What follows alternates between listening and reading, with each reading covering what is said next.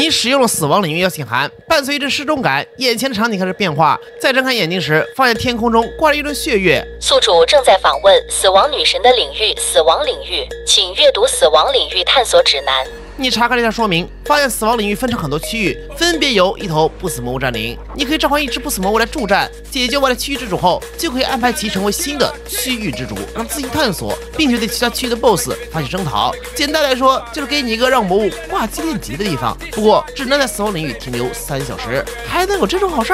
赶紧将小黑召唤出来，安排他的清怪。经过三个小时的探索，小黑等级来到二十三，倒计时的即将行刑的时候，系统发出了提示：死亡女神对您的好感度加二。由于您初次探索死亡领域，获得奖励不死魔物的共享，可以临时掌握您所用的不死魔物的一种技能，持续时间十分钟，每日一次。不错的技能啊，感觉这次收获颇丰。正打算退出，可倒计时结束的最后一秒，你就看见枯骨大圣王座上有一道娇小人影，容貌无法看清，但那一双白皙的精致裸足踩在无数血肉组成的土地之上，却让人印象深刻。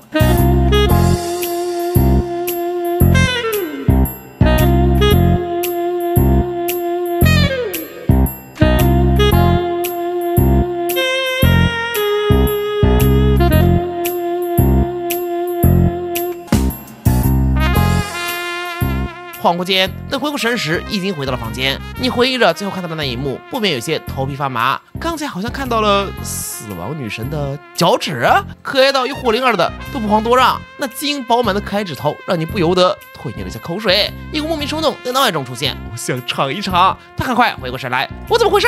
我不是变态族控呗？宿主已摆脱死亡女神的诅咒。啊！诅咒？什么诅咒？足控？你是真的要吐了呀？叉 P 这玩意也算是诅咒？你好歹是女神，给我正经点，不要搞这些恶趣味啊喂！起床后，跟着火灵儿来到酒馆，大街小巷都在聊昨晚发生的事情。大法师秦元浩一夜间成了人们唾弃的对象，遭到口诛笔伐，是新的反面教材。而酒馆内，一个火灵儿成为了所有人的焦点。今天的岩浆城日报头版上，除了有两个死灵法师对轰的事情外，还有某热心市民甘愿成为诱饵，引秦元浩出动。在秦元浩与不知名死灵法师战斗之际，还和他的朋友火灵儿一起救出了被绑架的士兵。正因此，也专门收到了卫兵给你送来的一面优秀市民锦旗。你是真的要吐了呀！我堂堂一个魔王，拿个优秀市民锦旗，这合理吗？哎，默默收下。火灵这时在外面转了一圈回来，嘿，我刚听到点东西，你去哪儿了？火灵市民气道，我听到乐子了。酒馆内最缺的就是乐子。一群人凑了过来，火灵就道城外一座矿山塌了，据说里面跑出来很多虫子。现在城里的士兵们全都赶过去了。他欢迎阿洛，系统提示立刻弹出任务发布，请前往龙印矿山寻找第十任魔王留下的研究所。一瞬间来了精神，前任的遗产啊！赶紧拉着火灵儿火急火燎赶过去。龙印矿山位于岩浆城西北方向，四周都是群山，只有一条运输矿产的土路对外连接。俩人躲在一处山坡上，观察着远处情况。岩浆士兵和教会信徒们构成一道防线，抵挡着虫子。子虫子狰狞的口技可以撕碎盔甲，数量惊人。连上看属性火山龙虫，等级十五，名字中竟然带着一个龙字嘛！火灵儿拍拍肩膀，所以你来这里做什么啊？如果想要趁热拿点好处，这可不是好机会。至少要等他们斗得两败俱伤。你连忙打断了火灵儿危险的想法。喂喂，这还适用着吗？我只是要在矿山里找到第十代魔王的实验室而已。火灵儿哦了一声，第十任魔王，我想想，他最大的成就就是推动了生物魔法的规范化与普及。他在位期间解决了母猪不孕不育、鸡的三十天快速出栏等等难题。哦，对了。酒馆里的羊肉豆腐星也是得益于他的选誉。你听完顿时绷不住了，异世界的第一发展力竟然是魔王，这到底是魔王还是童话喂？那实验室到底是怎么回事？火灵竖起一个手指，在他死前有传言说他曾和一条龙有过短暂接触，后来他消失了一段时间，等他再次出现在大龙视野的时候，昭告了全世界一件事情，什么事儿？火灵清了清喉咙，用低沉且富有磁性的声音还原道：“想要我的宝藏吗？如果想要的话，那就去找吧，我全都放在我的实验室当中了。”你听到差点摔倒。所以从此大寻宝时的到来，火亮点点头，你真聪明。但迄今为止还没有人能够找到他的宝藏。你说这里是实验室，我能想到的就只有他了。而且从他和龙有接触以下面些虫子来看，他的宝藏还真有可能埋在这里。听我描述，你陷入思考。既然如此，实验室会不会有什么跟龙有关的东西？比如龙娘？你已经幻想起自己骑着龙娘翱翔在天际之上的画面了。如此一来，天上地上晚上骑的都有了。哦，生活突然就充满了希望。正胡思乱想的时候，地下矿山内身穿法袍的光明主教灵修员到来，他一挥手，圣光制裁，直接将火山龙虫们逼退到了那因矿洞坍塌而产生的缝隙中。士兵与教会的教徒们终于有了休整的机会，纷纷坐在原地喘气。你猜测实验室会不会就是在那缝隙之中的？普通人现在当然是靠近不了矿洞的，但你可是优秀市民啊！拉着火灵儿来到关卡前，士兵队长呵斥：“这里禁止靠近！”你不慌不忙取出锦旗，上面印着四个大字：“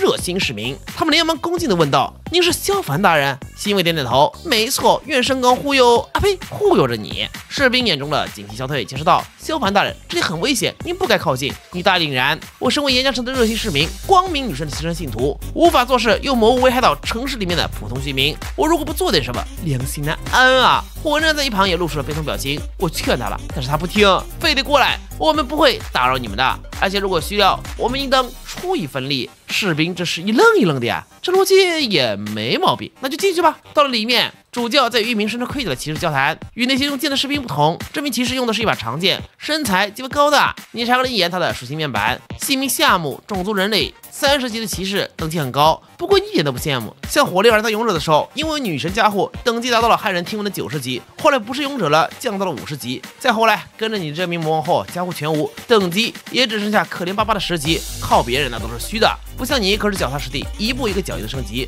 这时士兵队长董红石见到你这位救命人，脸上露出笑容，热情打招呼：“你怎么来了？”你露出严肃表情，这里发生了灾难。我无法坐视不管。董红是不疑有他，你既是热心市民，又是女神的虔诚信徒，没有比你更正直、更可靠的人了。你怎么可能是魔王军派来的卧底呢？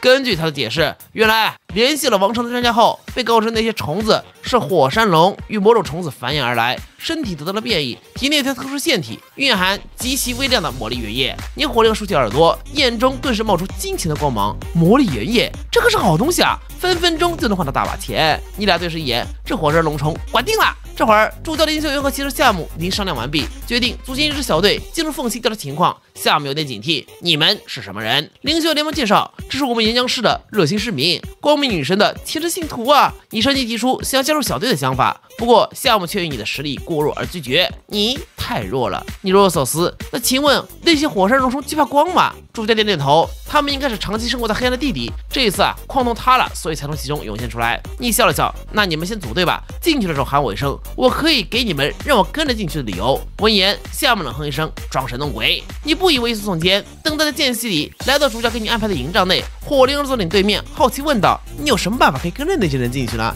你想了想，我可以共享饲养魔物的一个技能，不过时间也只有十分钟。少女恍然大悟，我懂了，你是打算共享圣光附魔吗？你摇摇头，我打算共享圣光护甲。打架让别人来就行，万一遇到危险，咱俩得果断穿梭跑路。火热身影完了点点头，不愧是你啊，跟本小姐想的简直一模一样。